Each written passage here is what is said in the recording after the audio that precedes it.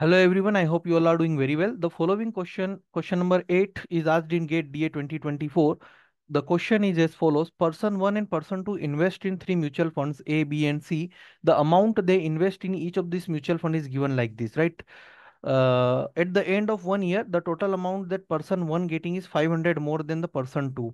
The annual rate of return for mutual fund B and C is 15% each. What is the annual rate of return for mutual fund A? Okay, so here person 1, person um, person one invest okay both are invested five fifty thousand rupees right? And uh, one is getting 500 rupees more. So one is in advance it is getting 500 rupees more. Okay. So here what is the return? Uh, 15% so uh, 15% means 3000 rupees he will made here. Here also he will made 3000 rupees person one.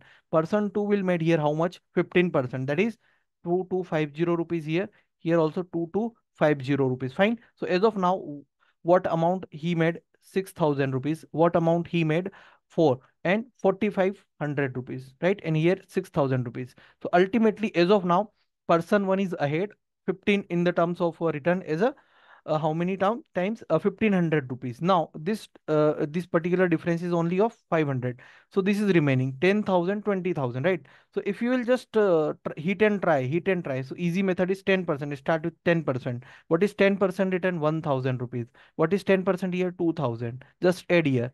4500 plus 2000 here is plus 1000 here you will get 7000 rupees. Here you will get 6500 rupees. So exactly you can see that a is getting 500 rupees more. So option b is the correct answer right? Heat and trial and i can easily get the answer likewise this. Okay i hope it is clear